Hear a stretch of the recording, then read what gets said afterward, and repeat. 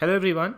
Let's try to solve a DI set in this video in which we'll be reading data from multiple graphs. A little bit of calculation will also be involved. So the question is a consulting company analyzed the average cost of the raw materials of making cement over a period of 3 years. So we have a table in which we have been given the cost of materials in 1000 rupees per ton. Okay. So we have the data for year 2011, 12, 13 and we have these materials limestone, gypsum, fly ash. So if you want to read this table I can say that the cost of limestone in year 2011 it was 3000 rupees per ton. In year 2012 the cost of limestone was 4500 rupees per ton. I hope that is clear. Similarly we have to read the data for gypsum and fly ash as well. Reading further, afterwards, the company looked at the market share by sales of various major companies in the market. So this is regarding the market share in year 2013. For Birla Cements, it was 35%. For Ambuja Cement, it was 15%. Then uh, for Ultratech, it was 40%, and for Wonder, it is 10%. We still do not have any idea what we have to do with the market share and this is for year 2013. Reading further, the consulting company also looked at the percentage of raw materials required to manufacture the different categories of cement. So we have been told percentage of raw materials in different types of cement. We have category 1 cement, category 2, category 3, category 4. Blue line represents limestone, orange gypsum, this gray one fly ash. So how to read this graph? For category 1 cement, 20% of this orange and gray that means gypsum and fly ash are needed. And if we talk about limestone for category 1 60% of limestone is needed. Similarly if you want to read it for category 2 then 20% of fly ash is needed. Then this is somewhere around 25% of gypsum is needed. And this is 55% of limestone is needed. So that is how we have to read the graphs. We still do not have any idea what to do with the graphs. We just have a correlation between these. We'll go to the questions, then we'll look what to pick up, then we'll relate all the data given in these graphs and we'll try to solve the questions. So the first question is a company orders cements of category 1 and category 3 in ratio 3 ratio 1 in the year 2011. The company repeats the order in year 2013. What is the percentage change between the cost incurred by the company if the profit percent of manufacturing company remains same over the years? So first of all, it is ordering category 1, category 3. That means we have to deal with only category 1 and 3. And ordered in ratio 3 ratio 1 in year 2011. So that means we'll definitely look at the cost of the raw materials in year 2011 and we'll look at the percentage composition of raw materials that the cement is having. The company is repeating the order in year 2013. So same order is repeated in year 2013. What is the percentage in between the cost incurred by the company? So this is basically regarding the cost in year 2011 and 13. So we have to focus upon category 1 and category 3.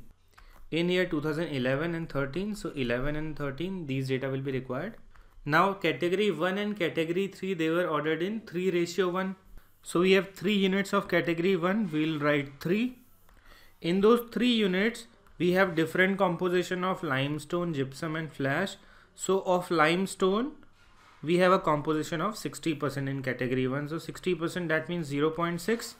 So that means in 3 units of category 1 we'll have 0.6 or 60% limestone and cost of this limestone is in 2011 it was given to us as 3 that means 3000 per ton. Now so far we have calculated the cost of only limestone. We'll talk about the cost of gypsum as well. So again 3 units. In those 3 units what is the percentage of gypsum? It is 20% from the graph category 1 cement. So 20% that means 0.2 and what is the cost of gypsum per ton in year 2011? It is 1 that means 1000 because you have been given this in thousands. So 1000 now we'll talk about fly ash. So again 3 units of fly ash and what is the composition or percentage of fly ash? It is again 20% in category 1.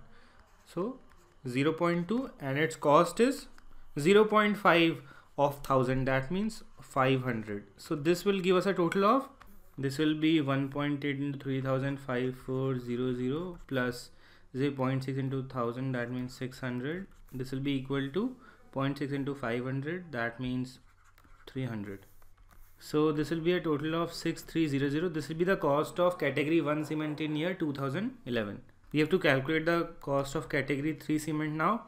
So in year 2011 we ordered only one unit of category 3 so one unit what will be the composition of gypsum in them?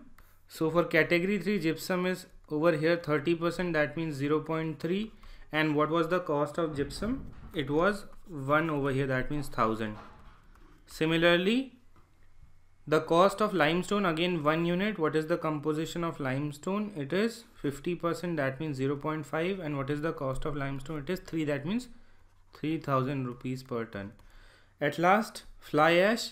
Fly ash percentage was 20% and again one unit one unit 20 percent that means 0.2 what is the cost? It was 0.5 thousand that means 500 when you calculate this this is 300 this is 1500 this is 100 so total 1900 now we can say that in year 2011 the cost of category 1 and category 3 cement together it was 6300 plus 1900 that means 8200 so we'll go to the next slide write down this.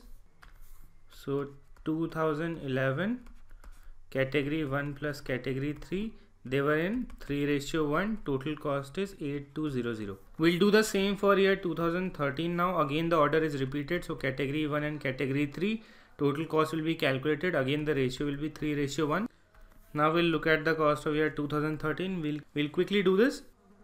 Again we'll focus upon category 1 and category 3 this is 20 percent 20 percent and this is 60 percent. This is 20 percent 30 percent and 50 percent. We'll calculate cost of 3 units of category 1 so 3 units percentage composition of limestone was 0.6 and cost in 2013 it was 3.6 that means 3600 rupees per ton. This is for limestone. Now for gypsum again 3 units percentage composition it was 20% that means 0.2 cost of gypsum in year 2013 it was 3 that means 3000 rupees per ton.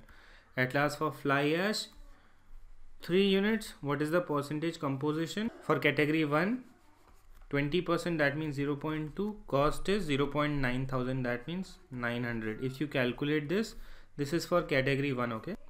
So this is 8820 now we'll do it for category 3 so for category 3 we ordered only one unit. So one unit percentage composition in category 3 of limestone was 50% so 0.5 cost was 3600 plus. Then again one unit percentage composition of gypsum it is 30% 0.3 what is the cost? 3000 per ton. Then for fly ash one unit 20% composition that means 0.2 cost is 0.9 that means 900 when you calculate this we get 2880 so total cost in year 2013 of category 1 and category 3 we'll add these two. We'll be getting 11700 so 11700 we'll go to the next slide. 11700 so earlier it was 8200 now it is 11700 we can find out the percentage increase so 11700 minus 8200 upon 8200 into 100. When you calculate this, you get somewhere around 42.6%. So that is option D 43%. That is how you have to solve this. A bit of calculation is involved. Let us try to solve the second question. Second one is Ultratech wants to expand its business in 2014. They have lowered their profits from 20% to 10% to attract more customers. If this yields in a 25% increase in the sales, what will be the market share of Ultratech in 2014, assuming an overall increase in the market size of 20%. So overall the market is increasing by 20% this has been told to us. We need to find out what will be the market share of Ultratech in year 2014, keeping all these conditions in mind. Now we need to find out the market share of Ultratech in year 2014. So let us assume that in year 2013 the total market share is 100x this is total market share. Because this is 10% 30 or 45 45 15 60 60 40 100 so 100x So in year 2013 for Ultratech it will be how much? Ultratech is gray one. That means 40% of this 100x that means 40x. Now overall increase in the market it was given to us over here. It is 20%. So market will increase by 20% from 100x it will become 120x total market. Now due to this lowering of profit from 20% to 10%, there is a 25% increase in the sales. So that means market share of this Ultratech it is increasing by 25%. So earlier it was 40x, now it will increase by 25%. We'll multiply this by 1.25, we'll be getting 50x. So this is regarding 2013, this is regarding 2014. Ultimately, we need to find out what will be the market share of Ultratech in 2014. So it is 50x out of 120x. Options were given in percentage. We'll find out the percentage 50x by 120x into 100. This will give me 500 by 12, which is ultimately equal to 41.6% approx. So this will be the answer. So we'll mark 41.6 option B. There was no use of this profit decrease from 20% to 10%. We only had to deal with the market share. Now we'll solve the third question. Third one is the supplier of gypsum for Ultratech and Wonder is the same company which increased its prices by 50% in 2012. This led to decrease in the market share of Ultratech and Wonder by 11.11% and 67.67% respectively in the next year. If the market size decreased by 20% in 2013 as compared to 2012, what was the percentage reduction in combined sales of Ultratech and Wonder Cement approx? So we have to deal with two years over here 2012, year 2013. Now we know the data of market share of these Ultratech and Wonder Cement in year 2013 but not in year 2012 because we have been given this led to decrease in market share of Ultratech and Wonder by 11.11% and 67.16.67% respectively in the next year. So this decrease would have been with respect to year 2012. Let me assume that Ultratech was X percent in 2012 and this Wonder was Y percent in year 2012. So we have been given that Ultratech decreased by how much? 11.11%. So 11.11% is nothing but 1 by 9 when you write it in fraction. So if we decrease x by 11.11% we'll write x 1 minus 1 by 9 that means 8x by 9. So this is the market share of Ultratech in year 2013. So let me write Ultratech and Wonder over here in year 2013. So this will be 8x by 9 we have been given the market share of Ultratech in year 2013 let's go back. It was equal to 40% over here. So we'll write. So this will be equal to 40% or if I calculate x it will be equal to 40 into 9 by 8 which gives me 45% so x is 45% that means in year 2012 the share market share of Ultratech it was 45% Similarly, we have to do it for Wonder as well. Wonder decreased by 16.67%. That means 1 by 6. So y 1 minus 1 by 6. We know its percentage that means market share in year 2013. Wonder it was given to us as 10%. So we'll write 10 over here. Y will be equal to you'll get it as 12%. So that means Wonders share in year 2012 it was 12% over here. We were also given that if the market size decreased by 20% in 2013 as compared to 2012. So that means the market share, total market share in year 2012, it is decreasing by 20%. So if I assume that in year 2012, if the total market share is 100 say T, so in year 2013, it will decrease by how much? 20%. It will become 100t into 0.8 that means 80t. Now what we ultimately need to find out what was the percentage reduction in combined sales of Ultratech and Wonder Cement approx. So that means we have to find out the total sales in year 2012 of these two companies, total sales of these companies in year 2013 and then we can find out the percentage reduction. So in year 2012, the total market share was 100T. Total was 100T. And if we find out of these two companies, the market share was 45 of Ultratech and 12 of this Wonder Cement. So that means 57% of total market share 100T. So 50 70. This is about year 2012 okay when we come to year 2013 the total market share in percentage of Ultratech and Wonder it was 40% plus 10% that means 50% but total market share in year 2013 it is 80t so we'll find out 50% of 80t that gives us 40t so which simply means that the sales have decreased from 57t to 40t so percentage reduction will be change upon initial into 100 changes 57t to 40t that means 17t upon initial was 50 70 into 100.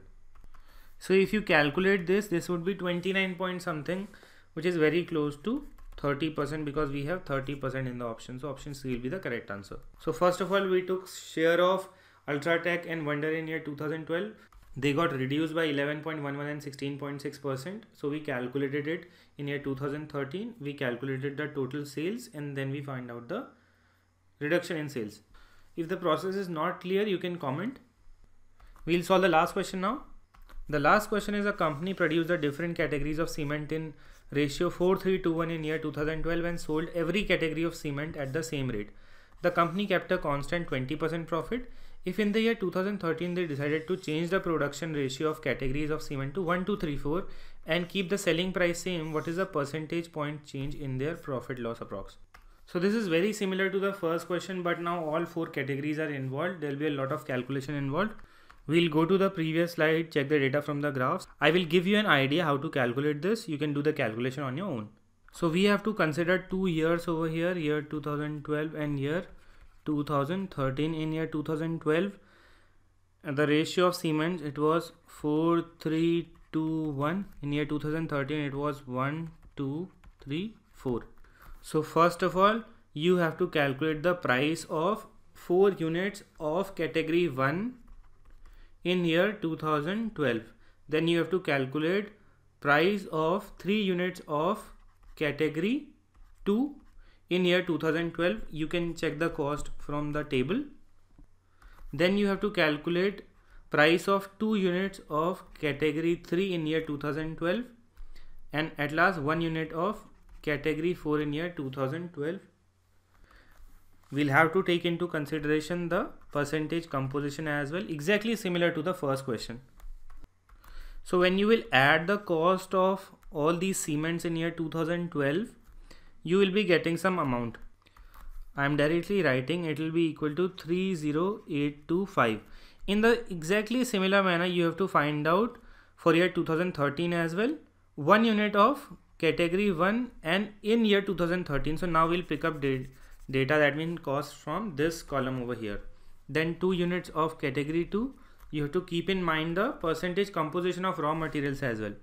Then 3 units of category 3 and at last 4 units of category 4 so when you will calculate total price in year 2013 it will be equal to 28680 rupees.